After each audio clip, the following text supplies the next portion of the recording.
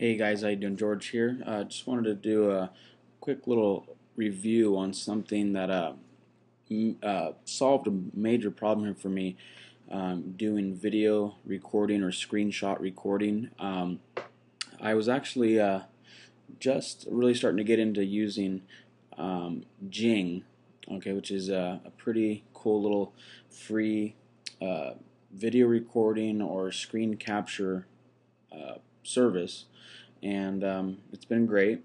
I actually used a Jing more uh, personally for just capturing images and uh, being able to create graphics and uh, you know arrows and different things uh, over ca screen capture.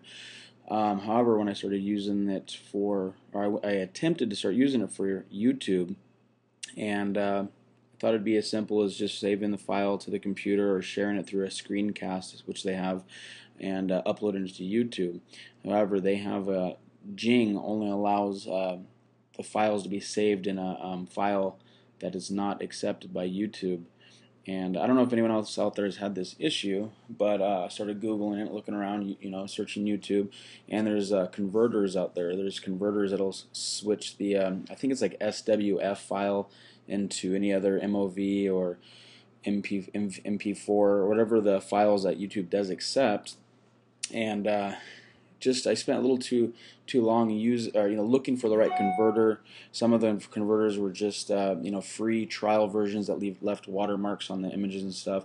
And then on top of that, I just it just wasn't working for me. I wasn't able to upload them properly. So my solution to that, and it's been working great, and I'm actually using this right now to record this little screenshot review, uh, was um, their more advanced product that they do charge for, um, but they do give you a 30-day trial version of that and uh, it's called Snagit. Okay, now Snagit's just the same thing as Jing. Um, it's basically um, a much it's much more advanced. But let me quickly go over this because I only have a few minutes. Um, here's like a, a, website I found: Jing versus Snagit. Jing versus Snagit. And if you want to go to right here, the site uh, Cinism.com uh, right here. I think I hope you can see it on the screen. It gives you like a, a Jing versus Snagit checklist, and uh, you can just see Snagit covers every uh, box or every category where Jing has a lot of limit limitations there. Um, but with Jing versus Snagit, uh, I also did find out reading through some of this stuff, uh, as much as we all love Jing, uh, it sounds like Jing is actually going to be kind of replaced with Snagit altogether here, uh, coming you know at the end of the month. Right now it's February 2013. I believe sometime by the end of uh, sometime in March or maybe March 1st, uh, Jing will go will be going away, and it'll only be Snagit, um, which is a paid version. I think it's like 49 bucks for it. They're actually they actually have other services as well. Um, but for the most part, I'm having uh, perfect success with Snagit. The key thing that was holding me back was uh, trying to get it converted, finding a third-party converter that was just you know trial versions. With Snagit, um, obviously uh, I'm using the free version, but once you buy it, it makes it very simple to upload right to YouTube. They actually have a YouTube button you can click and it uploads it right to YouTube for you. I'm actually saving it on my computer, my hard drive, because uh, you know I, just in case YouTube uh, you know there's a lot of issues with people flagging channels on YouTube so I like to have a backup recording on my on my hard drive anyway.